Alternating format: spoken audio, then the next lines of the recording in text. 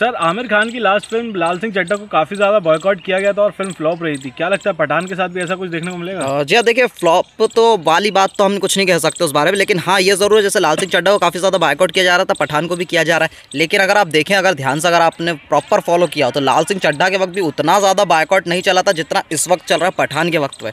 बहुत ज़्यादा high level का बायकॉट चल रहा है। लेकिन मैं ये समझता हूँ कि लाल सिंह चड्डा जो थी वो बुरी फ़िल्म थी इस वजह से भी वो इतनी नहीं चल पाई और वो वाकई में उन्होंने बुरी से मेरा मतलब है कि इतना ज़्यादा आप ऑडियंस को इंगेज नहीं कर पाए ऑडियंस से रिलेट ना कर पाए शाहरुख खान खुद अपने हिमसेल्फ कह चुके हैं, उनसे सवाल पूछा था जब आस्क एस आर के पे एक लड़की ने पूछा था ask S R K session में कि आपको क्या लगता है कि फिर भी दिल हिंदुस्तानी अहेड ऑफ़ टाइम थी?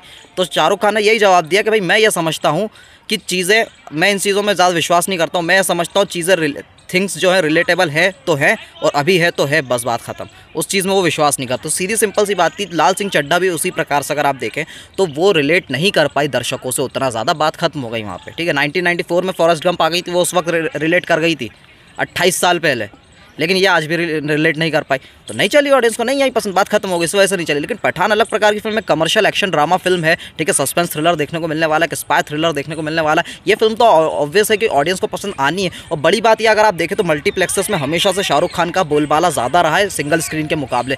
ज़बरदस्त मल्टीप्लेक्स में उनकी ऑडियंस बहुत ज़बरदस्त है। लेकिन ये फ़िल्म पठान ऐसी है जो सिंगल स्क्रीन में मल्टीप्लेक्स में तो चलनी चलनी है, लेकिन उसके साथ में सिंगल स्क्रीन में भी बड़ा धमाका करने वाली क्योंकि फुल सिंगल स्क्रीन के साथ मास एक्शन फ़िल्म वाली प्रकार की फ़िल्म है और एकदम बहुत पोटेंशियल रखती है फ़िल्म चलने का। तो ऐसे में मुझे नहीं लगता कि लाल सिंह और इसको कंपेरिजन मुझे तो नहीं लगता कहीं से कहीं तक किया जा सकता है। हालाँकि लाल सिंह चड्डा बहुत ही बुरी तरीके से फ्लॉप हुई है, सच है। लेकिन मुझे नहीं लगता कि इसका कलेक्शन अगर कोई प्रॉब्लम होती है तो मुझे नहीं लगता लाल सिंह के कंपेरिजन कहीं से किया जा सकता है। उम्मीद करते हैं पठान अच्छी फ़िल्म निकले, लाल सिंह जैसी ना हो और अच्छा परफॉर्म करे बॉक्स ऑफ़िस